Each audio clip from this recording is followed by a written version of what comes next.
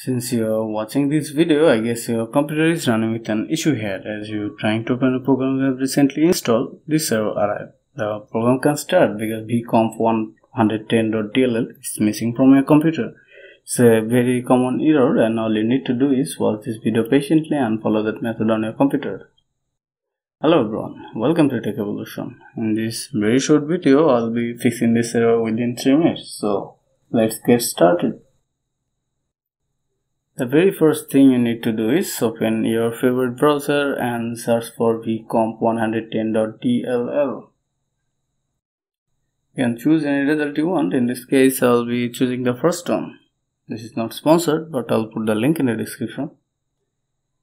Here you can see a few download options based on the architecture and version. To know your architecture and version, click on Start and search for system information. Here you can see mine is a 64-bit PC and I'm updated to the recent Windows update. So in this case, I'll be downloading the first one. Make sure you download your version of Windows. I strongly recommend you to read this page. It has other fixing method also. As the download complete, hit open. The downloaded zip has the DLL file in it.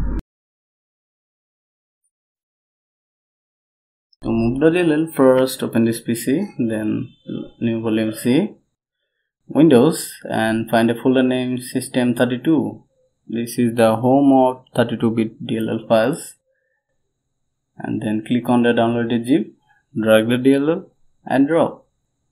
I have already done this, so it is asking me to replace. And click on continue to give administrator access. Before we go ahead, let's check by typing the entire file name, we can see the file is placed in 32-bit folder. So job is done for 32-bit users. You can go and restart your computer. Only if you are a 64-bit users, open this PC one more time.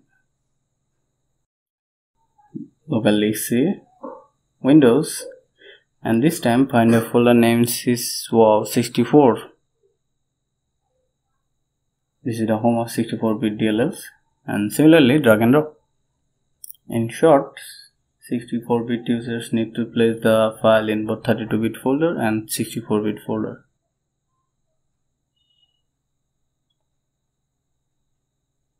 Check this one more time.